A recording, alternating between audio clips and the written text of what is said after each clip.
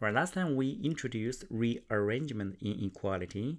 The idea is that uh, if you have two sorted uh, sequences A and N, and the product sum will achieve the maximum if they are in order, and the minimum if they are reverse order with each other, or in between would be the other permutation, you know, of the of the orders. All right.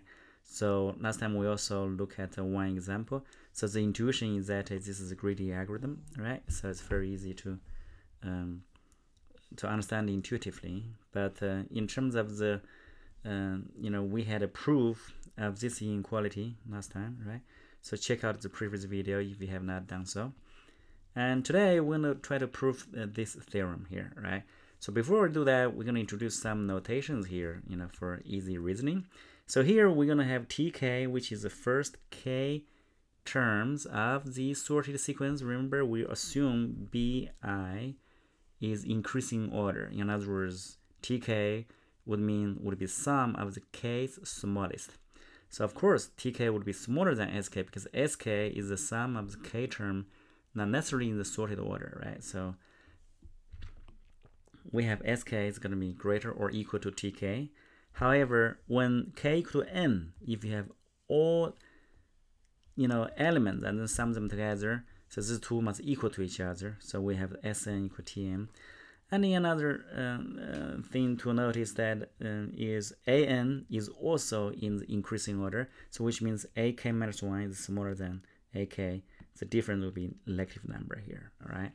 So with that, let's uh, try to look at, uh, you know, the permutated, uh, you know, product sum here, yeah. We claim that each um, item here is actually the difference of you know s2 minus s1 you know this gives you the you know b pi 2 here right? And this is uh, s1 is b pi 1 and so on and so forth. Now however you notice that uh, you can combine um, here s by looking at uh, s1 is going to be a2 a1 minus a2 right?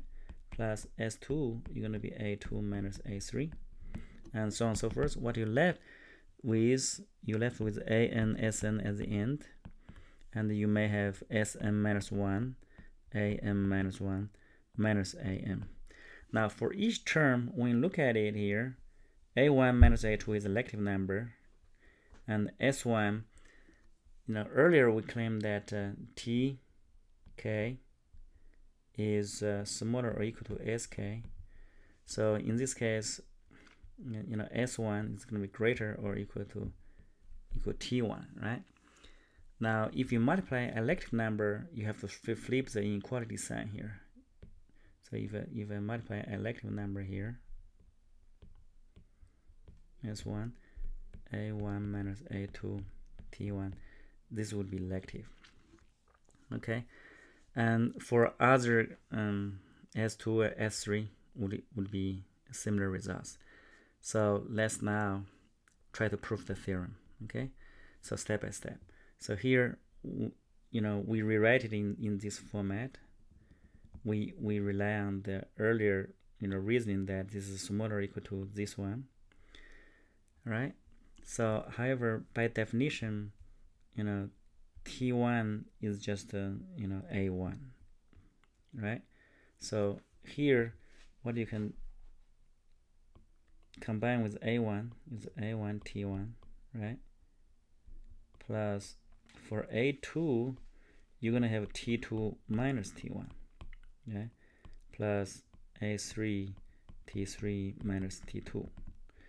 Now, this is actually nothing but B1. This is nothing but B2 this is nothing but B3.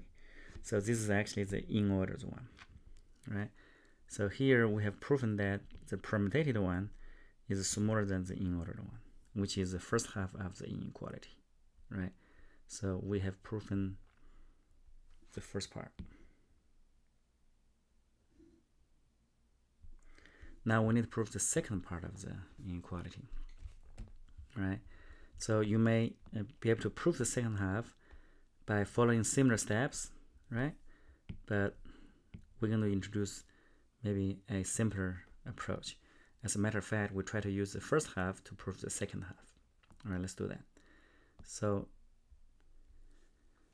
the key here is that you have two sequences. You know, I have AN is increasing order. I have BN in the increasing order also. But if I have multiple negative sign, and then the inequality can change signs, right? So I'm, I'm, I'm going to do that for the BN. So BN would be smallest, and the negative mm, B1 would be the biggest in that case, right?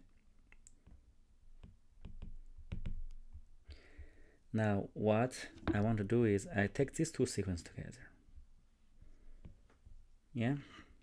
So the in order is the biggest, which means A1 negative Bn, yeah, because this is in order, plus A2 negative Bn minus 1, plus so on and so forth.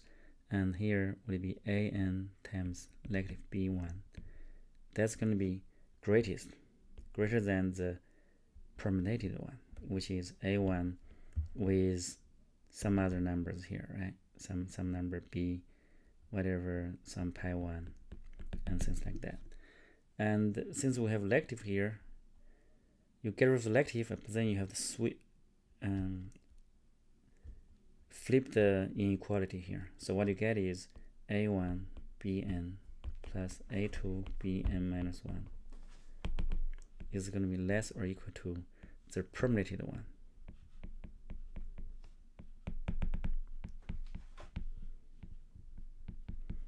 This is exactly the second half, which means the reverse order, this is the reverse order. This is the permutated order.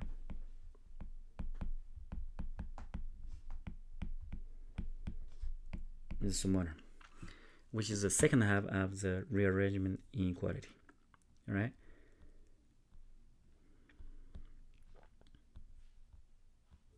So second half is proven by using the first half. The trick here is uh, you're going to use negative BI as the sequence. You consider these two sequences. Okay. So that's the trick.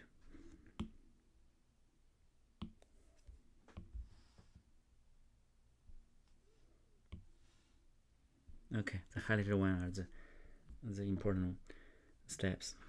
All right, so that is for the proof, and uh, we're going to. Um, one thing we notice that and uh, the rearrangement inequality can be expressed in a different way. If this sequence is decreasing order, the inequality still holds. So what really matters is, is that the ranking must be the same, the in order versus out of order. So this is like in order, which means the item is like the same rank. This is reverse order. The rank is reversed, and this is permutated, okay, out of order. All right. So we're gonna try to prove AMGM inequality using the rearrangement inequality. All right, let's do that. So in this case, we need to try to come up with A and Bn. Well, so what is A and what is Bn? Right. So it turns out that uh, what we can do, this this quantity, the geometric mean, for easy notation, let's call it T. Right. So I'm going to construct A n sequence like this. I'm going to have x1 over t, x1, x2, over t squared and and so forth x1, x2, xn over t n's power. Of course, you notice that this the finally this is equal to 1, right? So what is the bn sequence? You just flip it, you know. In other words, bi equal 1 over ai. So in this case, I'm going to have t over xn, x1, t squared over x1, x2, and so on and so forth. And the final one is 1.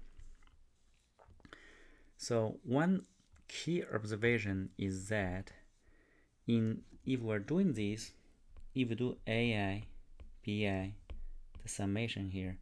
This I claim that this is the reverse order one. Why? Because when a number is greater than another number, x greater than y, positive number, 1 over x would be smaller than y, right?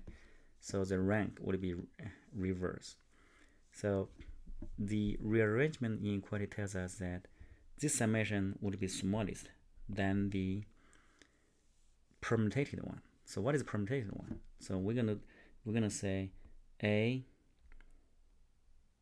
one with the previous term, but the one the previous term would be bn, right? Plus a2 b1 plus a3 b2 and so on and so forth. Until you know and at the end you're gonna have uh, am bm minus 1 all right so but when you look at this this is nothing but x1 over t because bn equal 1 plus a2 which is x1 x2 over t squared times b1 is t over x1 and then cancel cancel t cancels here. What do you get? x2 equal over t. And so on and so forth. What do you notice that is, is actually every term is xn over t x3 over t. All right so so basically earlier if aibi because here we know that aibi equal to 1 so there's n terms. So the first term is actually n term here. Smaller or equal to right? Smaller or equal to this one. This one equal what? Equal x1 plus plus xn over t. Now if you swap n and t what do you get? You get t smaller or equal to n x1 plus x2 plus xn this is a, arithmetic mean. This is a geometric mean. So we just prove the theorem here right by constructing a and bn all right so try to review the step make sure you you understand and and try to prove it yourself all right so we're gonna have exercise for you you know try to prove this statement where a b c are positive uh, positive numbers sum up to one only you prove that uh, the sum of squares is greater or equal to one third all right?